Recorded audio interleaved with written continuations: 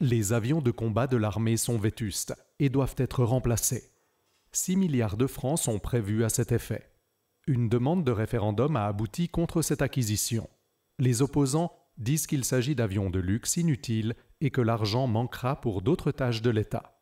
Le Conseil fédéral et le Parlement estiment quant à eux que la Suisse continuera à avoir besoin d'avions de combat pour défendre sa population contre des attaques aériennes. De quoi s'agit-il en détail?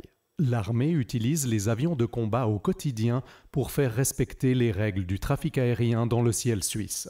Elle protège aussi de grandes manifestations telles que le WEF à Davos ou des conférences internationales à Genève. En cas de menace terroriste, les avions sont là pour surveiller l'espace aérien.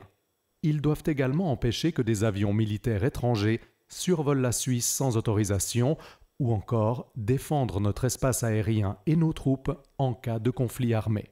Pour toutes ces missions, on utilise aujourd'hui les FA-18, mais ils atteindront la fin de leur durée d'utilisation vers 2030. Les F-5 Tiger ont quant à eux plus de 40 ans et ne servent plus qu'à l'instruction. Il faut donc acheter de nouveaux avions d'ici 2030 pour 6 milliards de francs au maximum. Si le peuple approuve cette acquisition, le Conseil fédéral choisira le type et le nombre d'appareils. Le constructeur qui livrera les avions devra octroyer des mandats en Suisse pour un montant équivalent à 60% du prix d'achat. Ces affaires compensatoires ont pour but de renforcer l'industrie suisse. Pour le comité référendaire, l'achat de nouveaux avions de combat donne carte blanche pour dépenser 6 milliards de francs. En effet, le nombre et le type d'appareils ne sont pas connus. Sur toute leur durée d'utilisation, les avions de luxe devraient même coûter 24 milliards de francs. Cet argent manquera alors dans le domaine de la santé, pour la protection contre les catastrophes ou dans la lutte contre le changement climatique. La Suisse a besoin d'une police aérienne. Les avions de combat lourds sont néanmoins impuissants face à un grand nombre de menaces modernes. Le comité estime que des solutions plus efficaces, comme des avions de combat légers, n'ont pas été envisagées sérieusement. Pour le Conseil fédéral et le Parlement, les nouveaux avions de combat représentent un investissement à long terme pour la sécurité de la Suisse et renforcent sa neutralité. Rien ne peut les remplacer.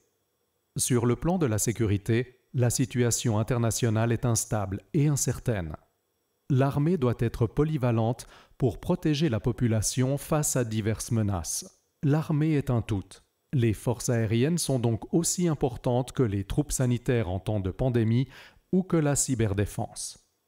L'acquisition et l'utilisation de nouveaux avions seront financés au moyen du budget ordinaire de l'armée et ne seront pas à la charge des autres tâches de la Confédération. Pour ces raisons, le Conseil fédéral et le Parlement vous recommandent de dire oui à l'acquisition de nouveaux avions de combat.